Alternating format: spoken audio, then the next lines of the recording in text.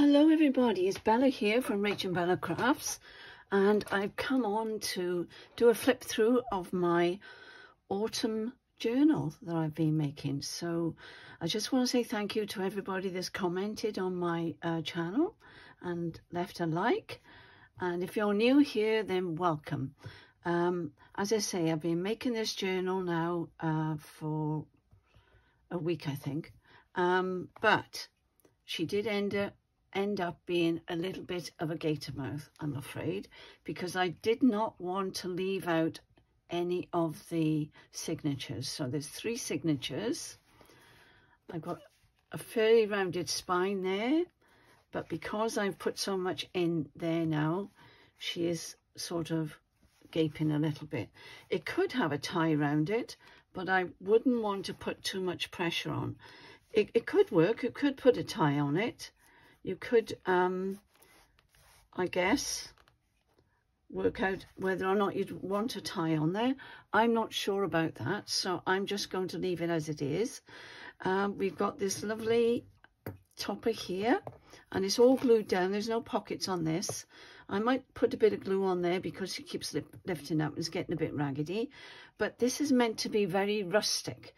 Um, that's the word I'm going to use for this journal. I got some corners on, on the edges of the cover, on the four corners. I've got to keep looking up because I'm only just on in the screen, so I must keep looking up.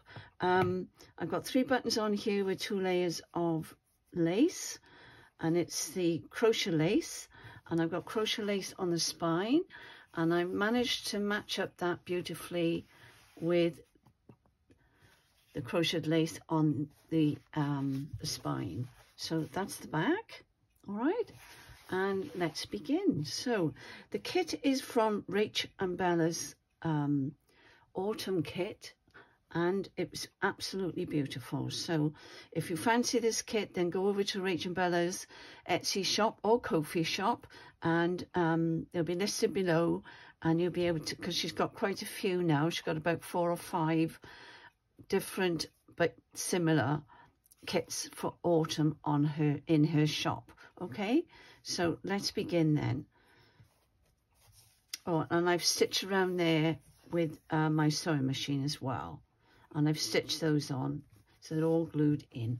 Let me just check now. I'm on on screen as best I can I'm only just fitting it on, but here we go. I've got a crochet pocket, uh, lace pocket on here, and I have put a little trim on there, little trim on there. I've just finished this off today, and I've been stamping, doing some stamping, and this is a stamp as well. This is a Tracie Fox. If you see any labels, they're by Tracie Fox, okay? Um, I did show in my earlier videos which one it was, but I've lost the piece of paper now. But it's it's there. So if I can find it, I'll, I'll put in the link below. And I've just stitched that through there and then I've glued it on. All right, so it doesn't go through the back. I haven't bothered stitching that because it was getting so bulky and I wanted it to slide in and out easily. So I just left that one, but that's a bigger tag. This is absolutely beautiful and I'm in love with it. Now I've done a little bit of stitching on here. I was trying to make it look like a tree or a dead tree, but I don't think I succeeded, but I had a go anyway. So that's two layers of material on there and a little bit of stitching on the top. Okay, and I've done some stamping down here, but I stamped them and then I put the piece of paper on the top. I didn't stamp them straight onto the page because I'd already sewn in all my signatures. This one I've left in case somebody wanted to put something on there, a autumnal photograph or something. That's a tag I made. Oh, I've yet to put a backing on that one. I'm glad I pulled that one out because I did the other one. That's a little pocket there and stitch around the pockets. That's uh, one out of the kit and if I can get these little thingies off, then I can show you I have put something inside, all right? And that just goes over the page like that because I thought it was just so beautiful, I would leave it as it is. So that's that. I put a little cluster on there where I've done a couple of stitches on. A book page, coffee paper, or tea paper actually, that I bought off um, Etsy. And just typing tea paper on Etsy and it will, the shop will come up, okay? And I've done some cross stitches up here, so that's a little flip there. I've done a few, uh, isn't that gorgeous? That's fabulous. And then I've done that there. And that's the back and that's the stitching you can see on the back. It's almost like um, herringbone, this stitch, which I think it's meant to be because I've been practicing my herringbone stitch. And the same around here, I did stitching around there as well. That's, uh, that's actual um, out of a ledger, that's the word, a ledger book. I put a little stamp on there and I've sealed this so if anybody wants to tuck anything private in there they can and that's the middle of the signature and they, they're all the same all the signatures are the same all right so that's that and I've left plenty of room if the person wanted to add more things they can but if I were you, I wouldn't put anything lumpy in there because I don't think the spine will take it. So I put a little leaf down there that I stamped. And these are flips, fabric flips. Put some fabric on this as part of that tablecloth I was showing you yesterday or the day before. And I've just done a little bit of stitching down there on the lace. There's another one. And I just put material at the top there. I was going to put a button on there and I thought, no, I can't because it's, it's getting so bulky. All right. That's that. That's one of the ones, the tabs that I did that I kept calling clusters. And that's that one.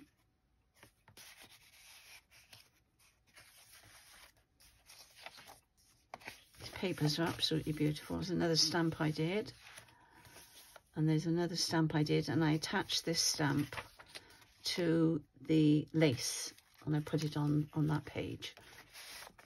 And that's one of the beautiful tags from Rachel's kit.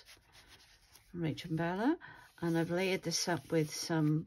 That's one of Tracie's um, labels. That's out of the kit. And I've just put that on there to add a bit of colour and it's very tactile this I've got one sheet this this uh, journal's got one sheet because my um, HP printer was playing up and it wasn't being nice to me that day and kept chucking it back out so I don't know what happened there normally I can print them and that's another Heidi there look and that one there I didn't put a, a, topper on that one because, as I say, it was getting very, very bulky. And of course, you could always remove one of these signatures if you wanted to make it more tactile, even more tactile. So that, that feels lovely. That's all lovely. That's that tablecloth I was cutting up that I got from a charity shop. Another stamp there that I've done. That's a German uh, page from a German book. That's that one. And I've just put lace on there and I've hand stitched around there onto the lace first and then I, I put it, um, I glued it onto the, to the belly band. Right, so there's plenty of room for journaling if you wanted to keep a record of autumn can't open it now, and it's the end of that signature. These are absolutely beautiful, gorgeous.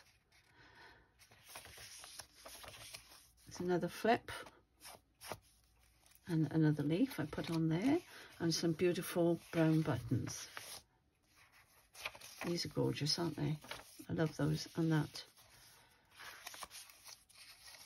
There we go, that's two pages. That's a German uh, page again and that's one I just and I did back that one so that one's done and I cut this out from one of the um, the actual pages to put on there and I did uh, one of Racy, not Racy's, Tracie's uh, labels on the top.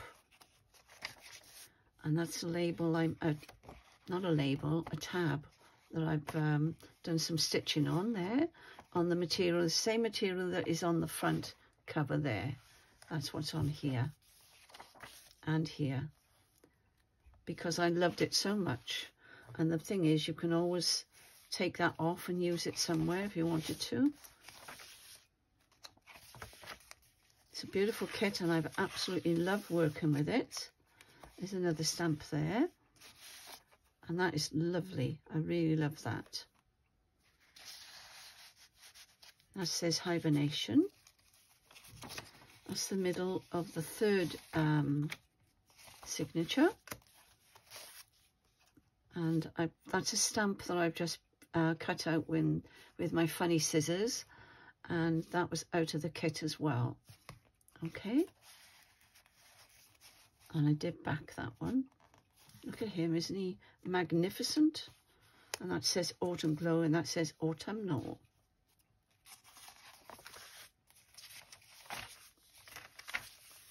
I was going to do some doodling and painting in this, but then I changed my mind. I decided then that I was just going to leave it as it is because it's so, so beautiful. And that says Bountiful. And that was one that I, I used the back of because I wanted to use it up. There we are, put that in there. One of Tracie's labels there and a crochet tab at the top and I've stamped some leaves down here. I've got a beautiful leaf stamp. So I put that down the edge of there. And this is another little tree that I've tried to stitch with a stem stitch. And I've tried to do the herringbone stitch there. I don't know whether I've succeeded, but I had a go. And that's on there. And that's another envelope with a little thingy inside. And this one, because I put the middle one on the wrong page, I had to make a side tuck there. So I thought that can go in there and you can pull that out easily with that. And I put some lace on the bottom there. I've got a little stamp that I put these, um, it's not a butterfly. I can't think of the name of what it is, but it's not a butterfly. And that's on, on that page, that's right. And there's some more German on there little stamp on there. And as I say, there's plenty of room for journaling because there's some, I've left some pages blank if you wanted to journal. Okay. And that is absolutely gorgeous. My grandfather, who was Spanish, um, I've told you the stories before, that he ran away to sea when he was about 11 or 12 and met my grandmother in Cardiff in Wales because he ran away to sea and um, she was a cook in one of the hotels. But anyway, that's by the by. But later on, obviously, as they were travelling around, they, they all took up hobbies, I would imagine, on these ships. And my grandfather used to make clocks and wardrobes. And my uh, cousin has two of my grandfather's clocks and they are absolutely beautiful and that reminds me of my grandfather. So this is the last page. I haven't put anything on there. I thought I'd leave that in case you wanted to put something on there. And I've just put crochet um, lace on there. And that's a bag that I made out of a bag that I had when I was on holiday. And I just cut it down, opened it up, and then made my own bag. And that's out of the kit as well. But yes, that time. Isn't that lovely? It's called Seasons and Time, Time and Seasons or something like that, the kit is called. But you will see it on Rachel's um, shop. So I hope you like her. And I really enjoyed making it.